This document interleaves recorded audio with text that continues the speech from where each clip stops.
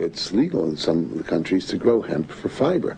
And in, in France, uh, this woman whose name is France Perrier, Madame France Perrier, she builds about 300 houses a year using hemp and cement lime, and she makes a thing called Isochanvre.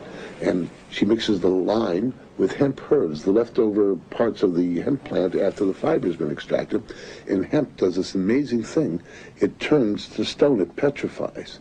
And so when you mix the lime, lime and hemp hurds together, you get something stronger than cement at one-sixth the weight. C'est-à-dire que dans un premier temps, j'ai cherché à pétrifier les végétaux, c'est-à-dire à, euh, minéraliser les sèves.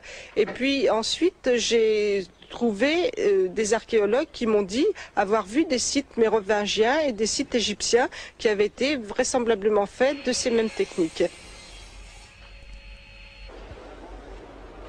Madame Perrier has had thousands of prospective orders for her houses from all over Europe.